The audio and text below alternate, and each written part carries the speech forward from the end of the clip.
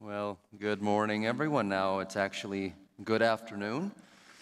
In the middle of the service, we turn into noon, and it's, it's such a privilege for us to, to come together and to open the Word of God and to study together. Thank you very much, musicians. That just blesses, blesses my heart very much.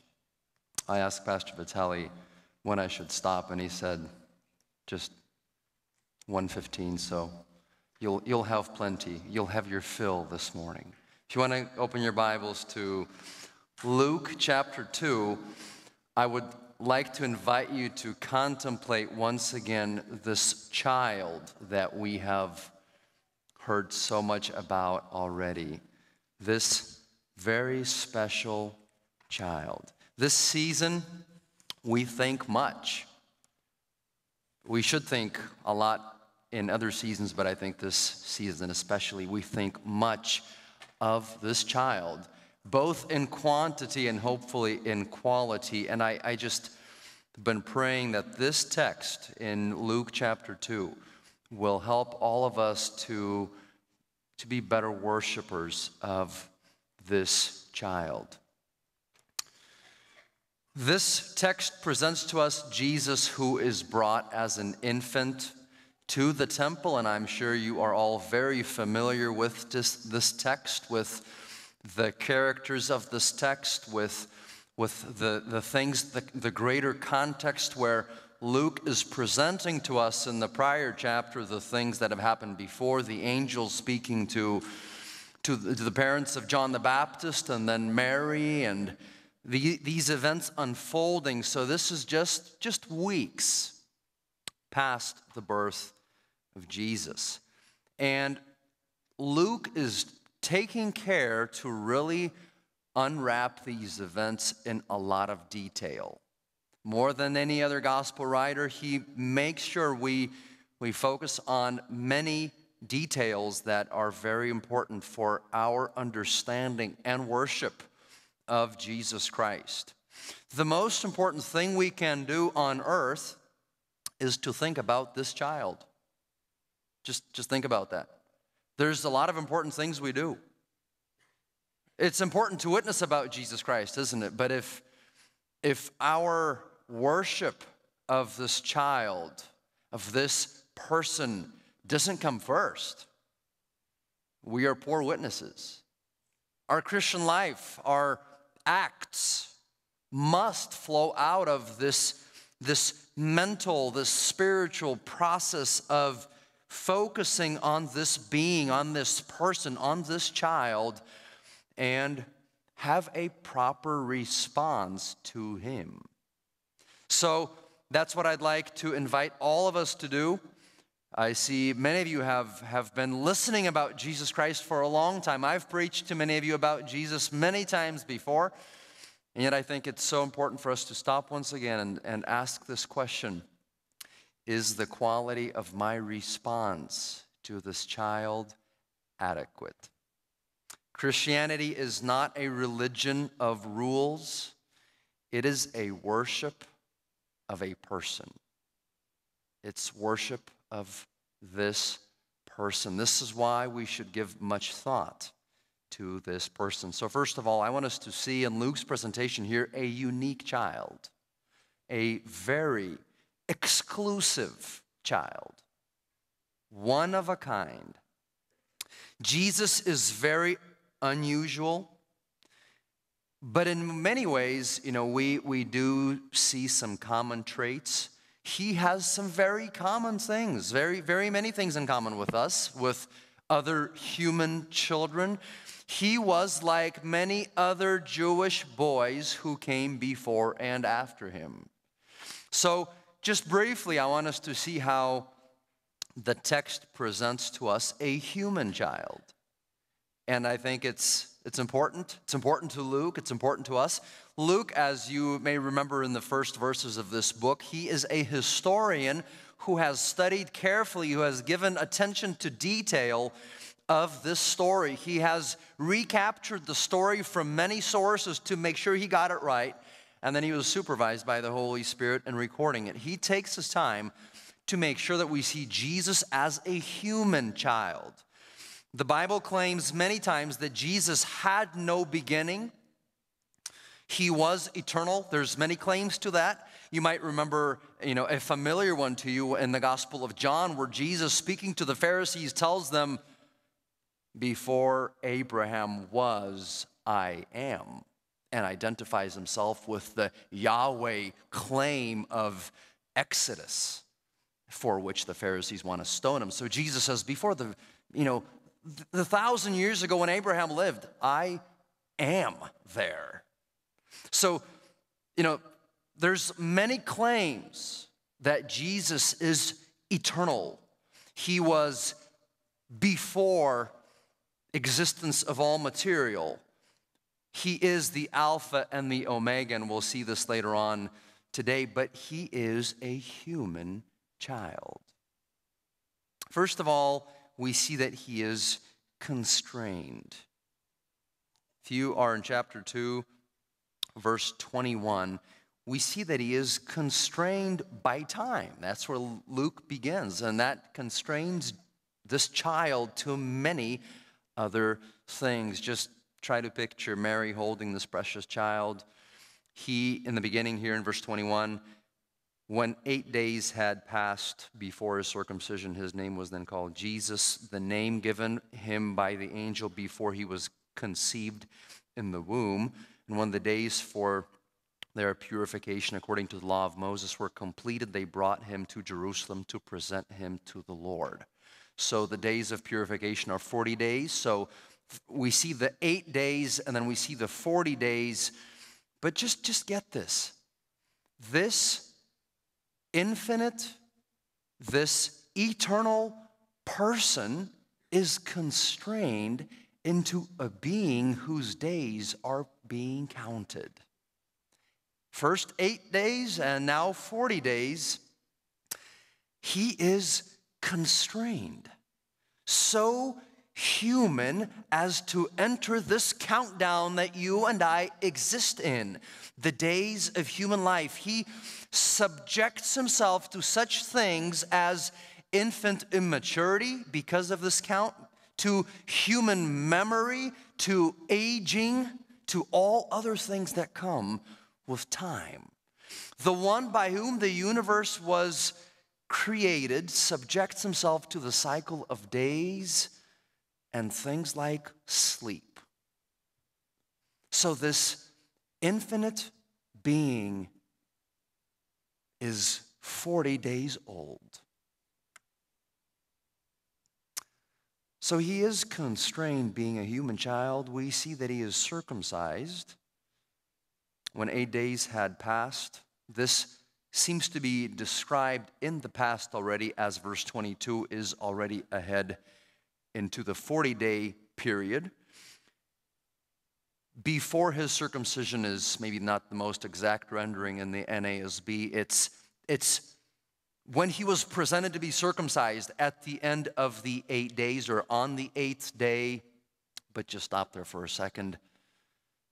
He is not just constrained by time, he is circumcised.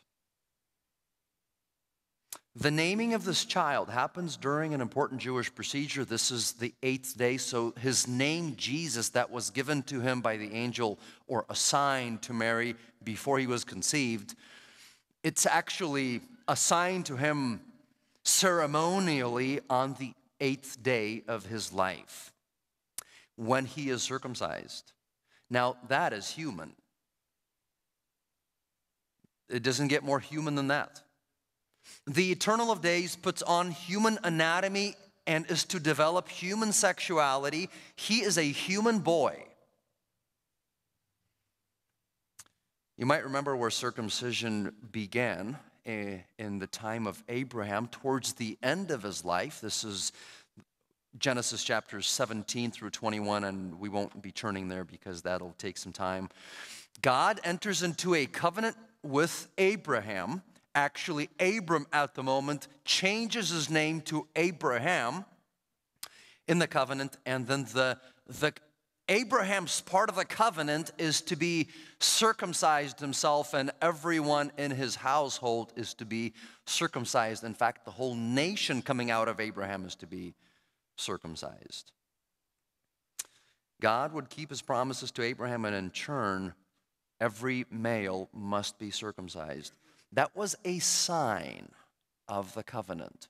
The Jew man bore the sign of the covenant. Now, Isaac was the first to be circumcised on the eighth day.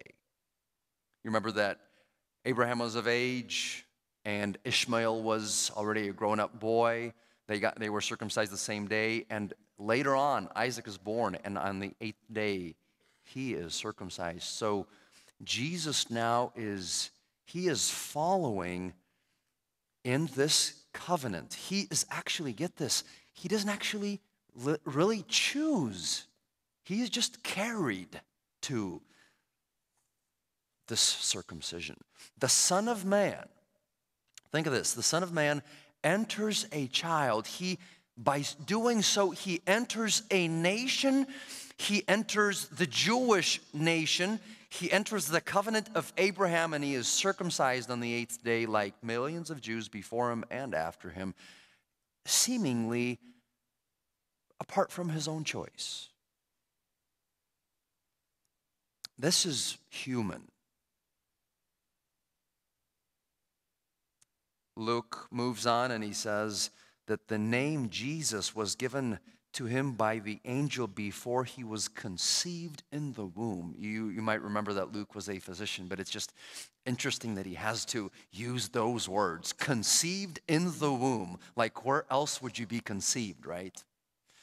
Um, Luke is just really, really using the words to make sure that we understand the humanity of Jesus. In the first chapter, of the the very same words are used that he will be conceived in Mary's womb. But just again, as human as it gets. If you turn back to chapter 1, verse 30, the angel said to her, Do not be afraid, Mary, for you have found favor with God, and behold, you will conceive in your womb and bear a son, and you shall name him Jesus. Notice this is first, first coming out of the angel's mouth the Spirit of God comes over Mary, and the one conceived is a union between the Most High God and a human young woman. I'm not sure if there's any more explaining to do. He is conceived. He is constrained, he's circumcised, he is conceived, he is consecrated. Then the next couple verses show us that when the days for their purification according to the law of Moses were completed, which for a male, this was 40, they brought him up to Jerusalem, that is from Bethlehem, to present him to the Lord.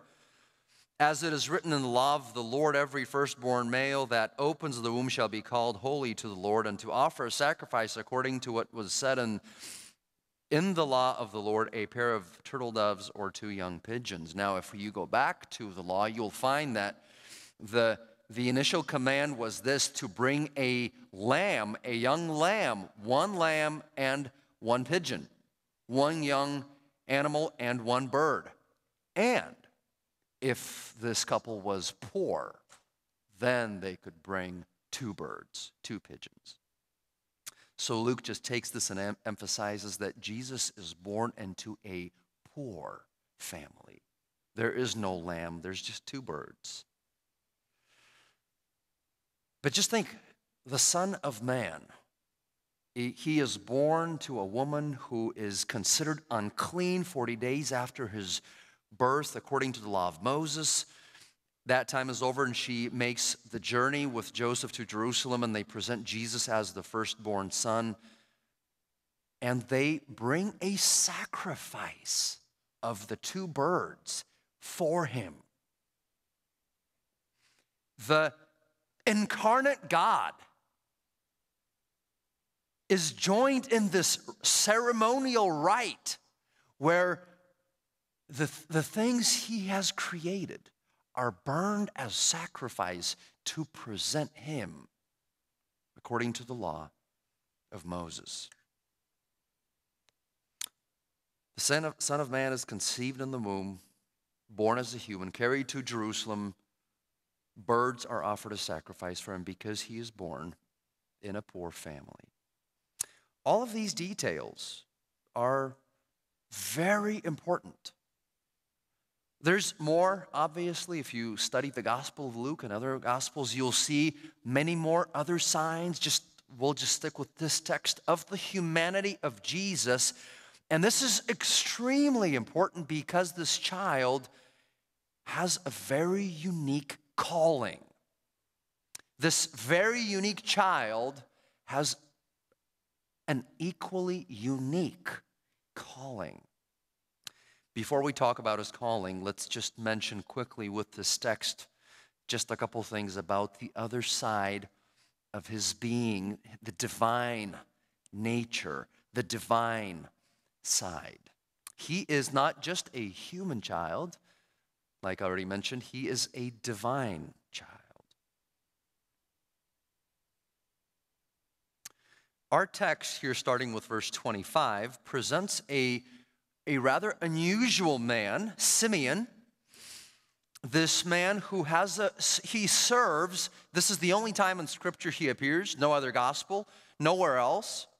This is a, an aged man who has a very specific function of identifying Jesus for who he is. He is the identifier.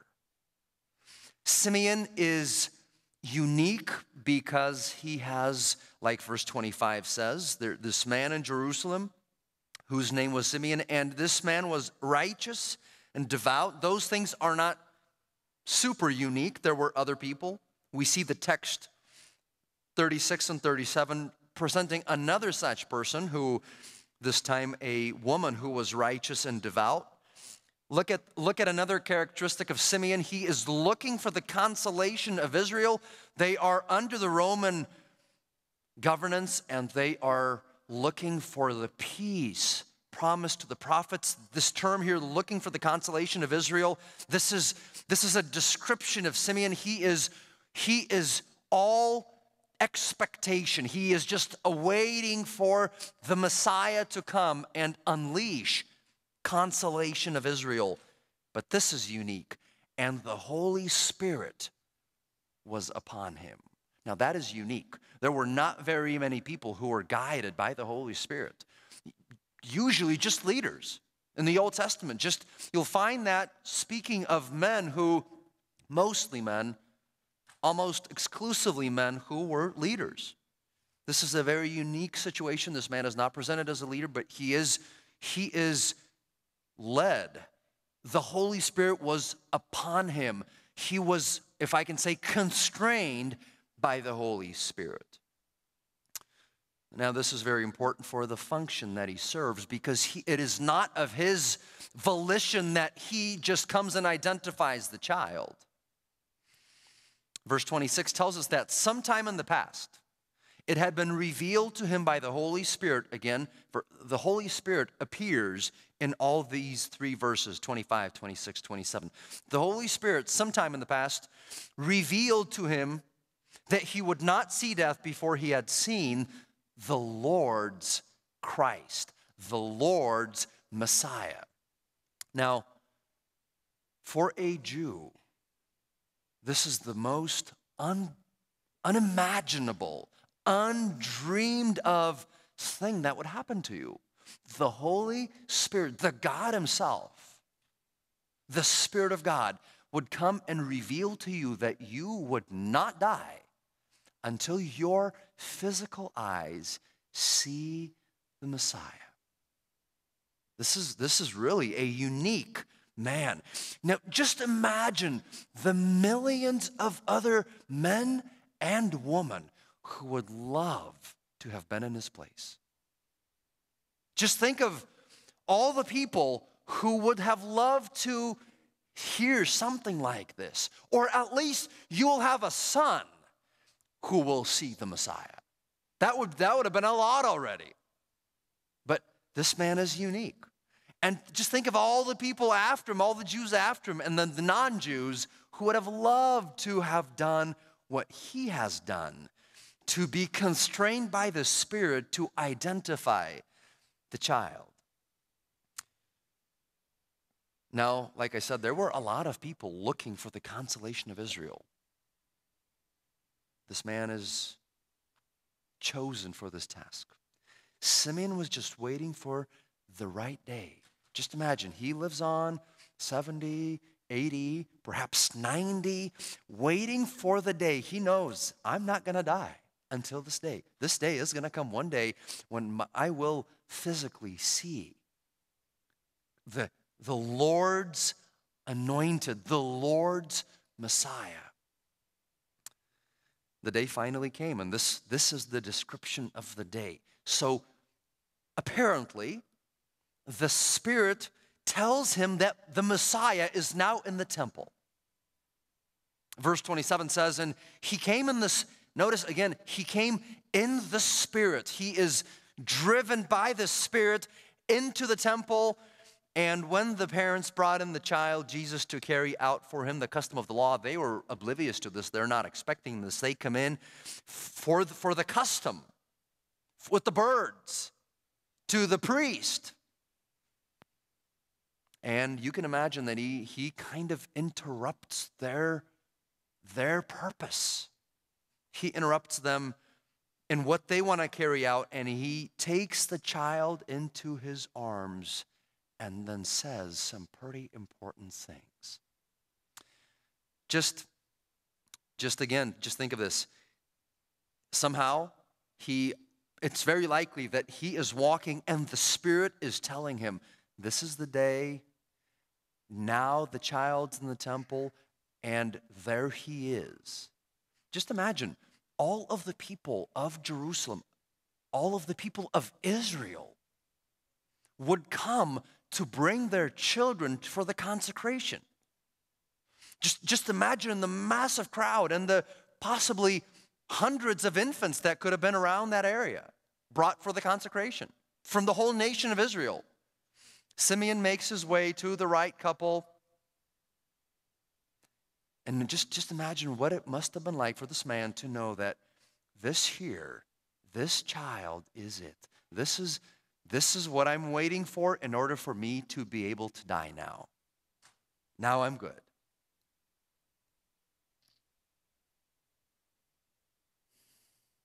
I, I just want you to catch this moment. Simeon is, get this, led by the Spirit of God to find the Son of God and then to pray to God the Father. What happens here is just, just, just watch the three persons. He is the, the Son of God is incarnate in Mary's hands, likely. The, the Spirit of God is, I wouldn't, I wouldn't say dragging Simeon, but compelling him to come and find the infant. And Simeon comes and he is constrained by the Spirit, takes the Son of God, and then prays to the Heavenly Father. Look at the Trinity all just working, and this man is like caught right in the middle. Now, this is, this is important for Luke as it is for many other authors of Scripture who think of, they, they want to capture this moment when the Trinity is acting together. Just, just think of other encounters, other situations when we see this, the Trinity acting out together. Again, the term Trinity doesn't come up, but we see the three individual persons acting in harmony, acting in sync. Just turn your page, if your Bible is anything like mine, to Luke chapter 3. We see how the same author captures an, another moment like this in, in the account of the baptism of Jesus in Luke chapter 3 verse 21. Now when all the people were baptized, 321. When all the people were baptized, Jesus was also baptized and while he was praying, heaven was open. Just just imagine the scene. Heaven is open and the so the son of man is in the water. The, the heaven is open, the Holy Spirit descends upon him in a, in a bodily form like a dove. Notice the one person is identified, the second person is identified. And a voice came out of heaven.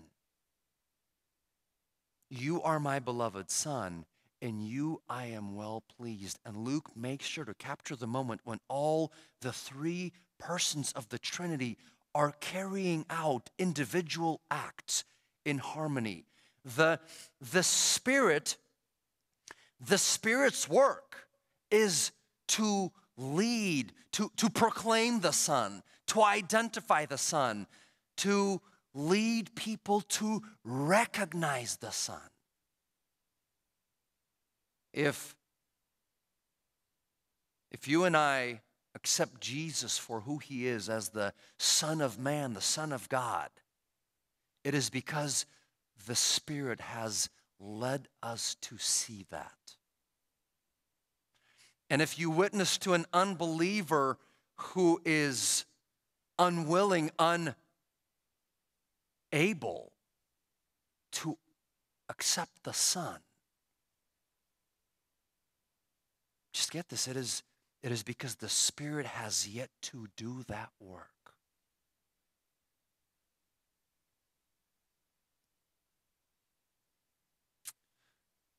So we see here in Luke's this, this very condensed account of, of this identification of the Christ's Messiah. How Simeon is just caught in the middle of this perfect storm, and he just imagine how how how unaware this man is. He is holding this infant, how unaware he becomes of the surrounding people. Just how oblivious he might have been of whatever is happening, he probably forgot that this is Mary's child. He's just, he is holding the Christ, the Lord's Messiah. So, Luke identifies here for us in this divine child a person of the Trinity. If you want to turn back with me to Isaiah chapter 9, just very quickly, in Isaiah chapter 9, we see the child. Go back there, and we, we see the child in chapter 7. Let me just point it out to you so you can study this text and read it on your own. In chapter 7, we read about the child that is given as a sign to the wicked king Ahaz. Verse 14 of chapter 7 The Lord himself will give you a sign. Behold, a virgin will be with child and bear a son, and she will call his name Emmanuel. We don't have time to unpack this one. If you, the context is rather bizarre. If you go to chapter 8, then we, we read of all the judgment that is happening in verse chapter 8, verse 8 says, 8 says, Then it will sweep this flood, this judgment onto Judah, and it will overflow and pass through. It will reach even to the neck. This is the invading armies of the pagans. The spread of its wings will fill the breadth of your land. O Emmanuel, the child. And then chapter 8, verse 10 devise a plan, but it will be thwarted. State a proposal, but it will not stand. For God is with us. Emmanuel, referring to the child. And then skip down to chapter 9. This is, Isaiah is just torn by these visions and this revelation. Verse 6 For a child will be born to us. Isaiah 9 6 and a son will be given to us, and the government will rest on his shoulders, and his name will be called. This is, this is a child. Get the name Wonderful Counselor, Mighty God. The child will be named Mighty God, Eternal Father, Prince of Peace. There will be no end to the increase of his government or of peace. That's why Simeon, because of this text, Simeon is waiting for the consolation of Israel, right? Because of this text, because there will be no end of peace on the throne of David and over his kingdom to establish it and to uphold it with justice and righteousness from then on and forevermore. The zeal of the Lord of hosts will accomplish this in the child. So when, when Simeon is holding the, this perhaps 40 day old child. All these things are going through his mind. Notice how specifically the Holy Spirit reveals to this man Simeon that the child, this human being, is the Lord's anointed, is the Lord's Messiah. And then the Holy Spirit guides Luke to record this. Simeon is no doubt trembling with this child, caught between the persons of the Trinity, moved by the Spirit of God to hold the Son of God. I just want you to think some, some other things that no doubt were going through his mind. You know, someone like Simeon knew the significance of holding the Messiah is unparalleled to, let's say, what Messiah would mean for you and me. We, we just are so out of context. But for, for Simeon to, to just try and wrap his mind around the concept of the Messiah would mean that, you know, this is the seed promised to Eve. I'll just name a couple. This is the seed promised to Eve. And they, they knew, they knew these scriptures by memory. It is the line from the tribe of Judah as spoken by Jacob. This is the ruler as spoken by Balaam. This is the prophet as spoken by Moses. This is the king on the throne of David as spoken to David and many others. This is the anointed one spoken to Isaiah. This is also the shoot and the stump of Jesse and the branch of Jesse and many other things that Isaiah identifies him and the child that he identifies him as. And Daniel identifies him as the Son of Man. All of that and much more is, is just going through his mind as he's thinking the Lord's Messiah. Just, just think of how, how history collap, collapses at this point for this man. This one promised from the beginning of mankind. It's just, it's just all the promises starting with Genesis 3:15 down to Simeon. There he is. He's just, he's just holding one human 40-day-old child.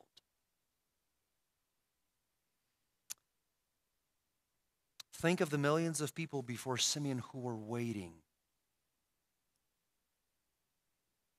And millions after Simeon who would, lo- would have loved to see this time, but simply believed. Think of all the believers who know this text and just simply believe. But it, wouldn't it be nice to hold the Messiah? This man has the privilege to touch this mystery, a child with both human and divine origins. What happens next is then Simeon is led by the Spirit to say just a couple things. It is likely that he said more, but this is all that's recorded. Just a couple things about the calling of this child. So let's just think about the calling, the unique calling of this child. Simeon begins with, All right, Lord, I am ready to die. He, he's just been, he was ready to die a long time ago, just expecting this one thing to happen, and it's done. He's ready to die. He says, now, Lord, you are releasing. He's speaking as already a dying man. He's saying, Lord, you are letting me go. You're letting me go, your bond servant, to depart in peace according to your word. You're letting me go. Why? Because my eyes have seen. Get this. What, what has he seen? Look at, look at how the Spirit guides him to say it. I have seen your salvation. That's what he has held. I'm holding your salvation. I have seen your salvation. So, the unique calling of this child is that salvation. Only this child can be called salvation because of his origin, both human and divine. If you if you just flip page, a page back to chapter 2, where the angel speaks to the shepherds, in verse 11, today in the city of David there has been born for you a Savior who is Christ the Lord. Again, the same, same language, but notice how this child is the only one who can be termed that salvation. Because there is no salvation apart from God. When Mary prays, and just in chapter one, he, she calls God the God of her salvation. Only God saves. So this child is salvation, being of divine origin. Being God incarnate, God in human flesh, he is salvation. This one child is the center of God's dealing with man. Just, just try to wrap your mind. This, this is why we worship this one child, this one being. He is the center of God's dealing with man. Everything that has been said in the past and everything that has followed finds its center point in Jesus Christ, in this child. Salvation is a person. This is what, this is what Simeon is saying. He, he's saying, I'm holding a person whose name is salvation.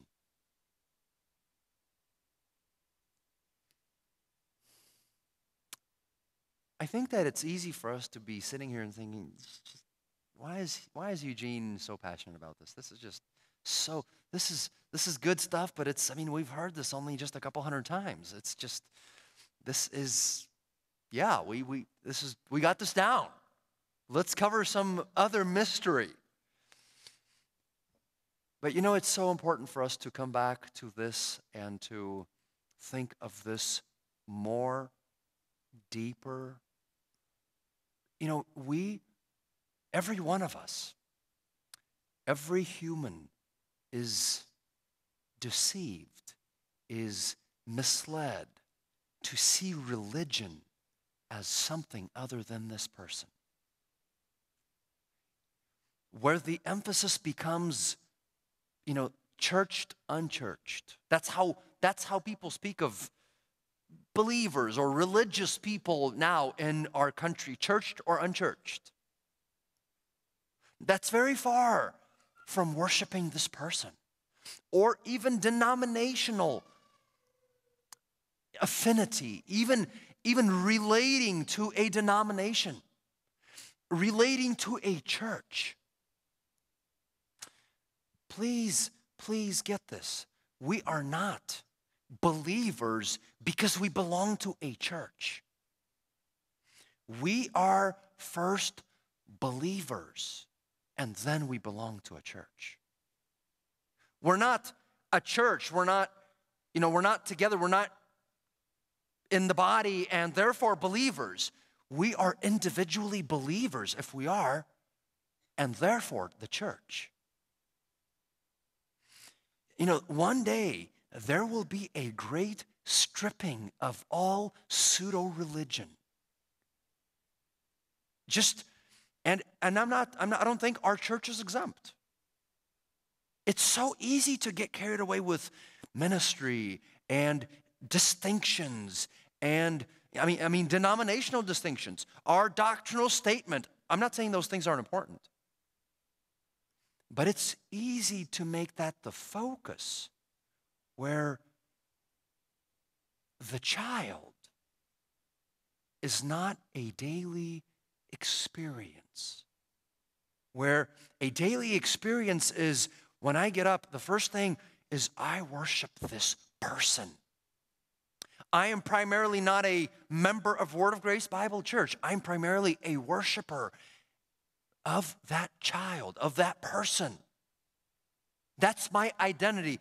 Therefore, I am maybe a member of a certain church, of a certain group. I do certain things. But this is just huge. Just, just think of this grand stripping that will take place when all of the things that have been piled on in the religion will be stripped, and people will realize how little genuine faith into this person there was. This is why, this is why people fall away. People are baptized because they they were just kind of they just kind of joined the bunch. They were they just felt good in the group. But individually the and really there's no test.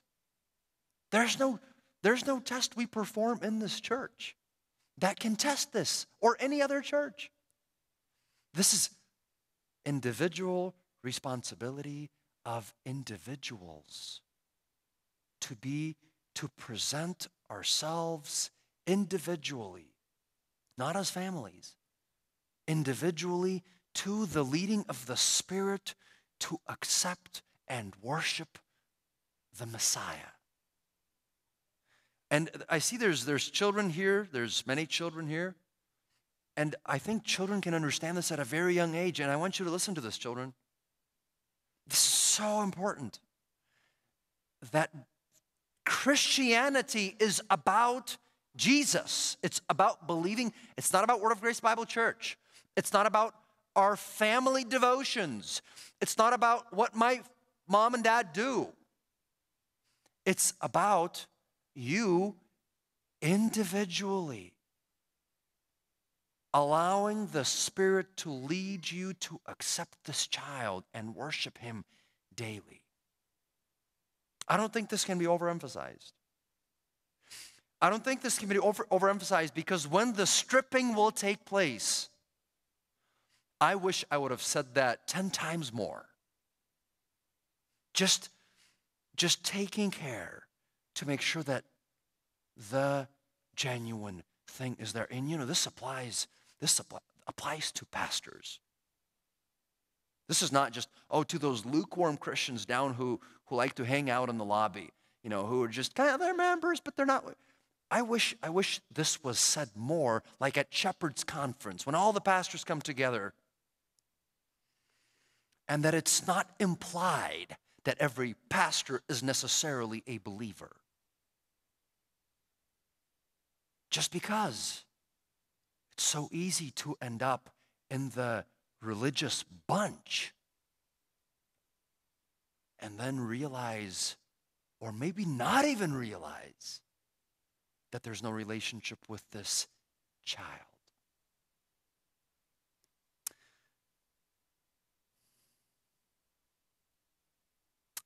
He says some other important things here salvation. My eyes, you know, for Simeon, this is so personal. He says, My eyes have seen salvation. Just think of, you know, he's not saying, I'm representing Israel. Israel, everybody, listen up. You know, here, uh, this is our corporate salvation over here. No. This, he's holding this infant, and this infant is the salvation of individuals. And get this, he says, He's a Jew. He is the Jew who, notice what it says, he's, he's looking for the consolation of Israel, but listen to what he says. He says, This I have seen the salvation which you have prepared in the presence of all people, and more specifically, this child is a light of revelation to the Gentiles, to the non Jews. This, this man is saying something so profound. You know, he's basically, you know what he's doing? He is strip, he is stripping. God, through his mouth, now is stripping Israel of Israel's exclusivity. No more is salvation for the Jews. He's, he's saying, This is salvation. Salvation for me, salvation for anybody who believes, as you know any anybody from from all nations i think that people who are listening there Many times this is this is demonstrated again and again. They're just they're just not hearing him. The Pharisees, they, you know, they don't hear these things.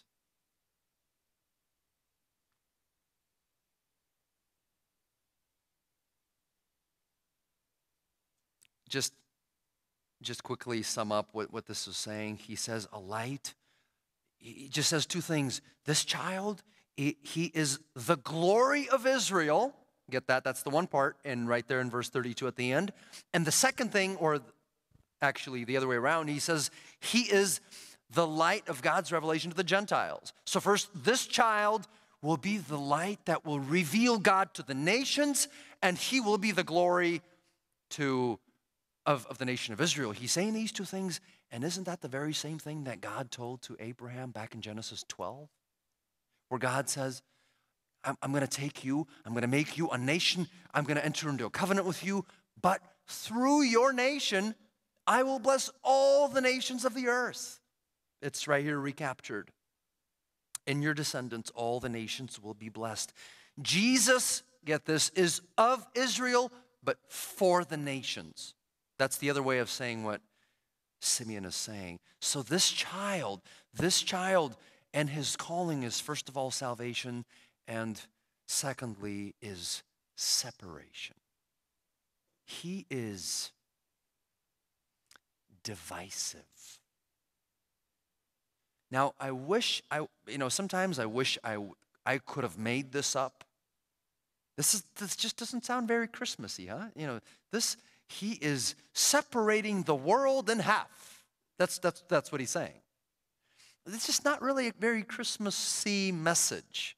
But if we stick with the text, as soon as Simeon says what he says, he says these things about him being the light of revelation to the Gentiles and the glory of your people Israel. His father and mother, Joseph and Mary, were amazed at these things which were being said of him and Notice there, they might have somehow expressed their amazement. Simeon blessed them and said to Mary, his mother, Behold, this child. And he speaks some more of his calling. Now he's speaking specifically to Mary. This child is appointed for the fall and rise of many in Israel. The fall and rise. He's going to split people into two in Israel. He will split them into some will be blessed and rise, others will fall, and he will be a sign opposed. He will be one many will oppose, the ones who will fall.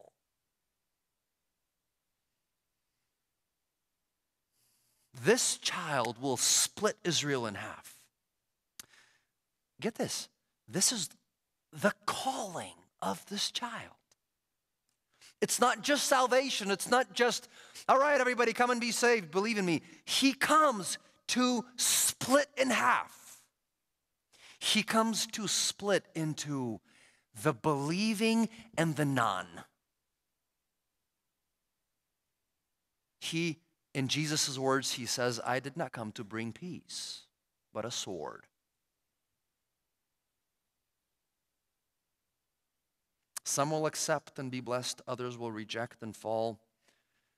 The child will expose the thoughts of many. He is the revealer of thoughts, he is the test. So, every man in this context, it speaks of Israel, every man of Israel every person of Israel will be tested. How? By their response to this person. So, everyone who will see Jesus and say, This is the Son of God, I'm going to worship this man, and worships, that's the one group. Everybody who is offended, everyone who is doubtful, everybody who rejects, and everybody who crucifies is in the other camp. Notice Simeon is saying this very, very concretely, but he's, he says, This ministry of separation will be so profound that that is actually what's going to kill this child, right? Because he says, A sword will pierce even your own soul to Mary. The ministry of this child will be so painful to you.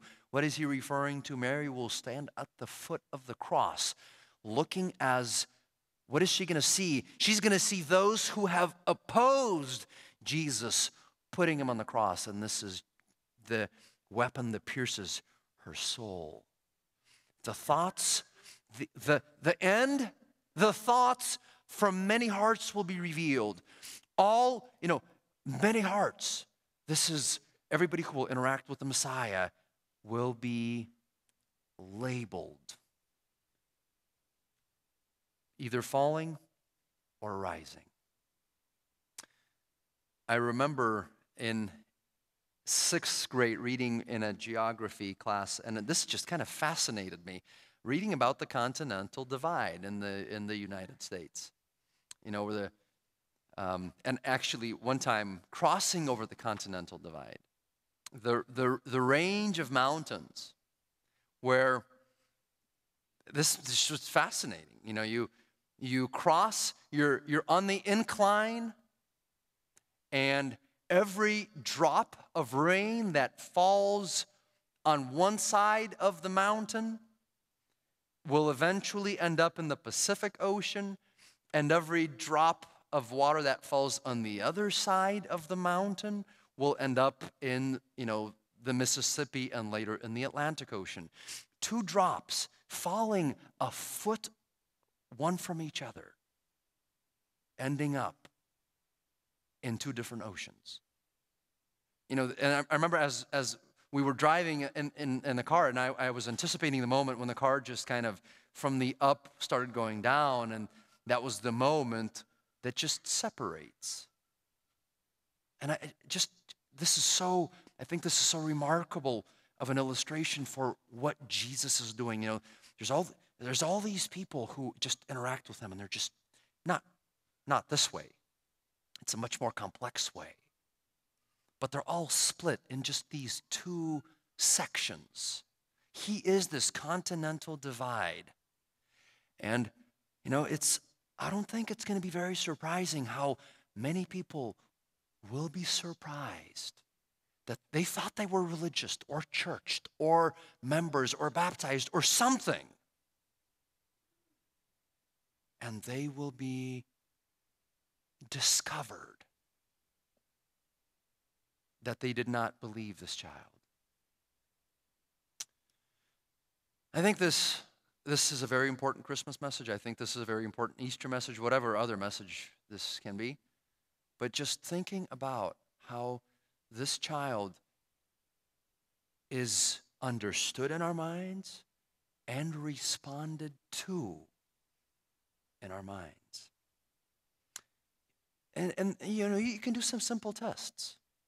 When you get up in the morning, what keeps you going? Is it the opinion of people? Do you have to press on because otherwise you will lose a job? Do you have to press on because otherwise you know, we just we just perform because if we don't, life will fall apart, right? Do I just perform because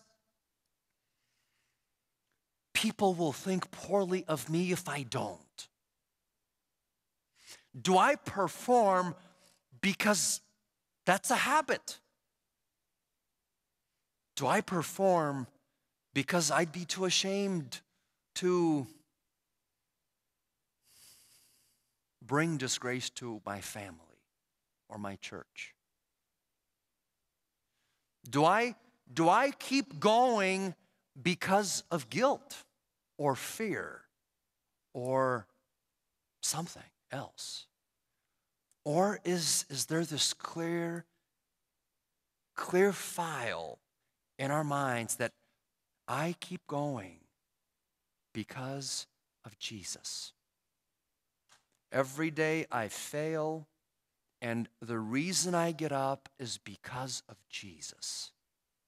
The reason the, I, I know I'm accepted is because of Him. He destroys my boasting because there, there's nothing to boast about. Do this diagnostic for yourself. What is, what is the gasoline in your tank? What drives what drives you? Are you impressed many times throughout the week? Sure. Does every believer lose focus of this child? I would imagine, yes. That's, that's part of being human. But is there this refocusing again and again, again and again to the child that this is why I believe, this is who I believe? If people fail, that's not who I followed. If people are disappointed in me, that's okay. That's not who I'm performing for.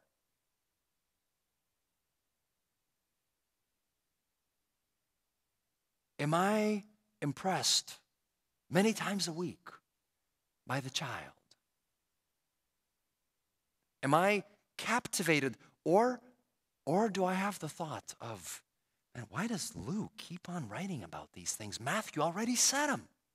Like, what's the big deal? Yes, he was born. Yes, he was God and man. Let's just, I don't know, let's do something. What, what, then what? No.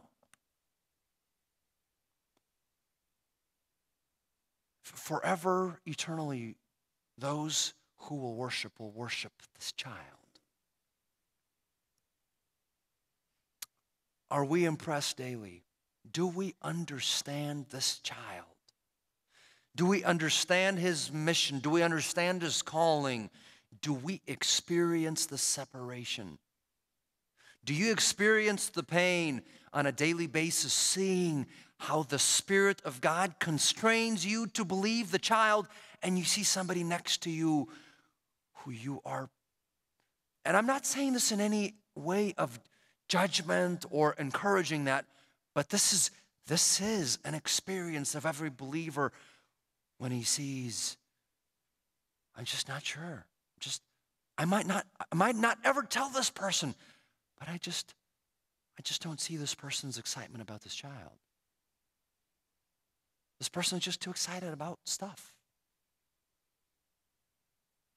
Do we experience the separation again and again and again.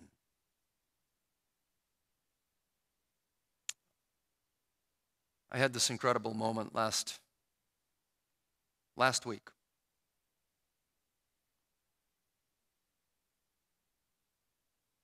Was dealing with a person who was mentally somewhat incapacitated. And I was as I was trying to help him, he yelled at me, You worship demons.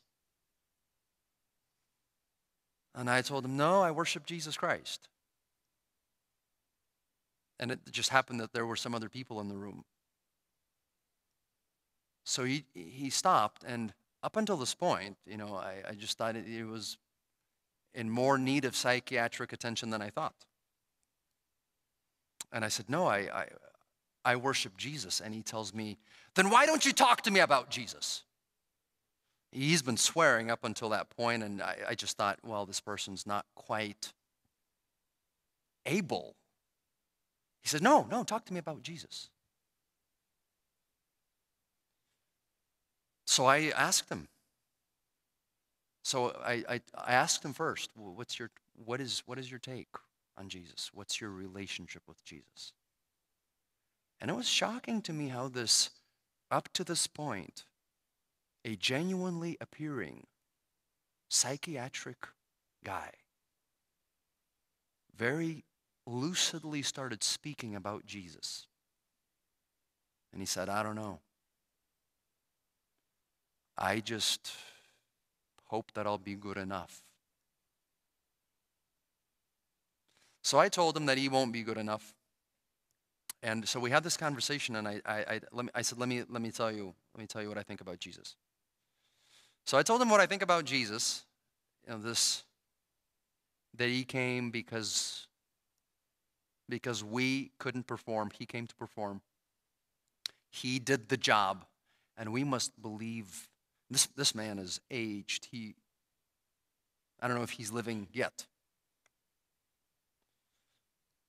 And you know, I, I got to experience this separation. He was looking, looking at me very intently, and he, he was telling me, I don't know if I can believe that. I don't know if I can believe that this man's righteousness can be mine. So we prayed, and I said, I asked him, What? I pulled my Bible and I said, What can I read to you? He asked for a specific text. I read the text. And I, I went home and I was just impressed by the need of every man to be compelled, to be carried, to be assisted, to grab on by faith to this child grown up. And you know, and this is and and that was all in my power. I could I could I could share the message. I could pray. I could read. I can keep praying and that is it. So I, I get to experience this, this divide, this dramatic, evident divide. In asking yourself,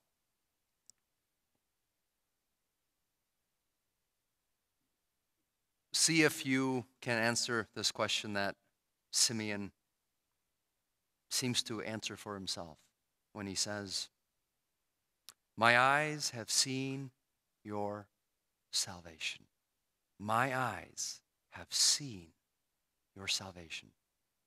If, if nobody would ever know, if nobody would ever know what you would answer to yourself, you don't have to share that with the spouse. Uh, what, what do you answer to yourself? Can you say, uh, My eyes have seen this salvation? Turn with me finally to Revelations chapter 1 and we'll pray together as I have just one minute left.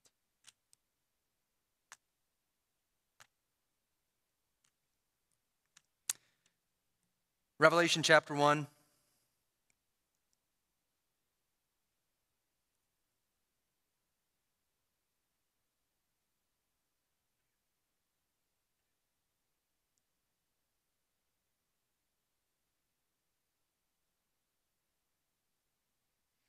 Let's read verses 7 and 8.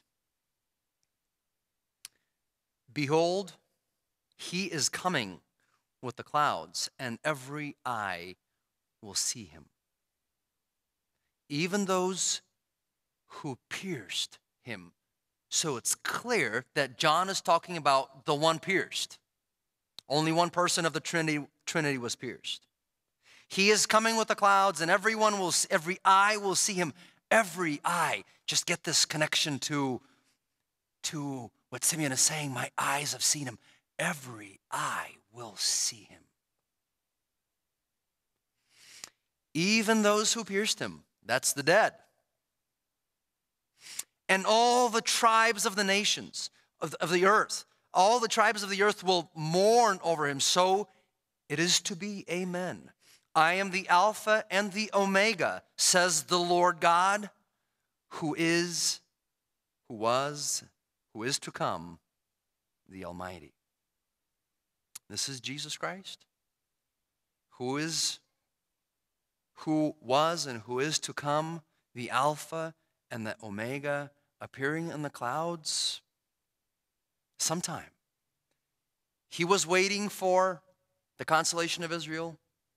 We're waiting for a more profound consolation of the whole, whole earth.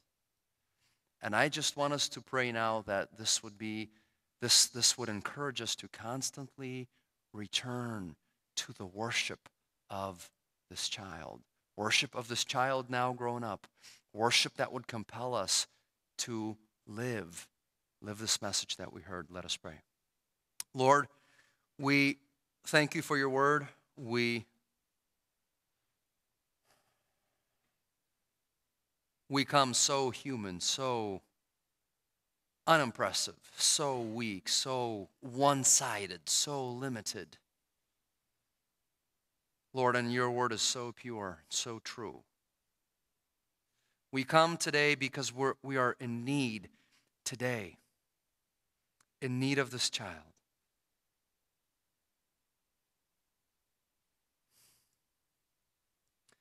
Lord, we pray that you would test our faith, that we would ourselves see that if our faith is genuine, if our faith is fruit producing, Lord, perform that test.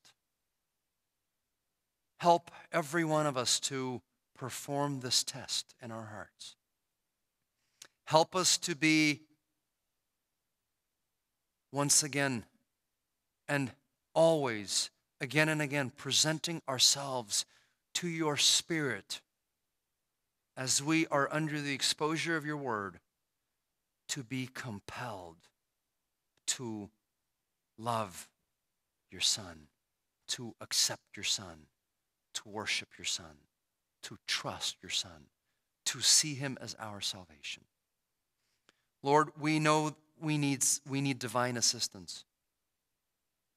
We pray for your work in our hearts, and we pray that you would also give power to our words as we speak to the unbelievers, that more would be joined believing Jesus, held captive to him, worshiping him till the day of his return. In his name we pray. Amen.